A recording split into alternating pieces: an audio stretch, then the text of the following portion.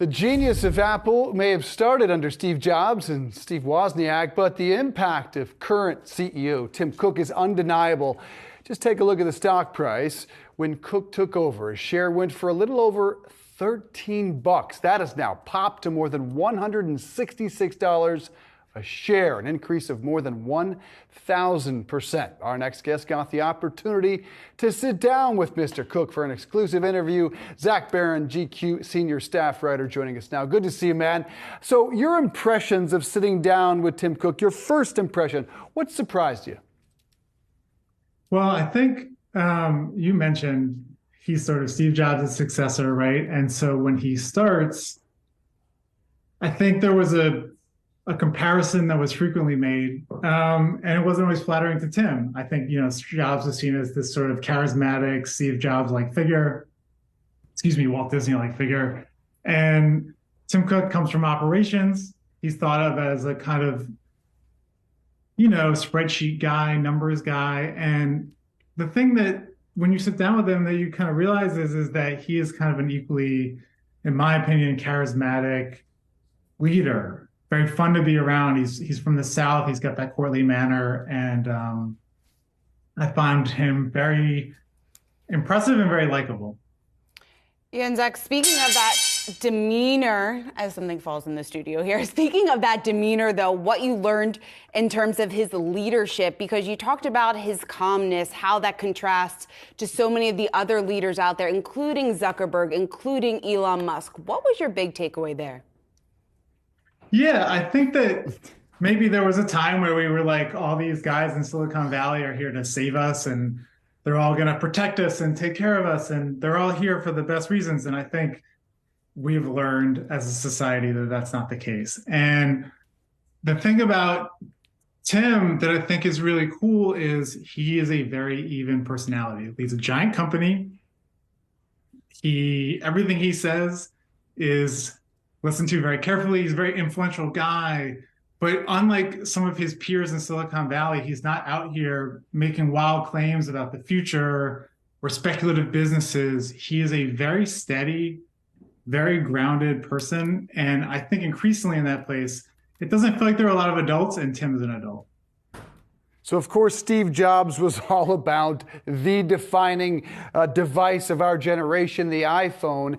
And Cook really has been services, has been his signature. You're right, though, when it comes to product, there's still the feeling in some quarters that he is one transformative product away from history. What that product is in the end is endlessly speculated about. Uh, I would argue that AirPods have changed life as much as anything since the iPhone. Do you get a sense what that could be? The VR, AR goggles that have been rumored about for months now, potentially launched in June. Yeah, so people who know Apple will know that Tim Cook is not in the habit of sitting down with journalists and confirming upcoming product releases or service releases or anything they're rolling out. Apple's a very secretive company. That said, those rumors are out there, and we talked about. It. I said, okay, look, you're probably not going to confirm this, and he's like, I, I don't know what you're talking about.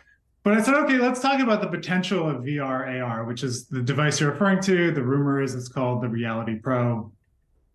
They may or may not be doing it. I cannot confirm. But I asked, why would you be interested in such a thing? And he talked a lot about how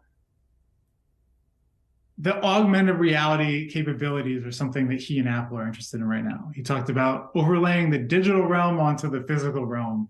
This is a company that's very interested in creativity, very interested in collaboration, very interested in creating stuff. I think that his view is we could have the sort of work days, the creative days that we have now, but better. We could overlay the the thing that we're working on and both look at it and play with it in the digital realm kind of while being in the physical realm. We could measure something, we could see art on a wall. There's all these sort of capabilities to do work in new ways and to do creative stuff in new ways that AR could allow. So he was like, I'm very interested in this. Are we doing something with it or not? I can't say.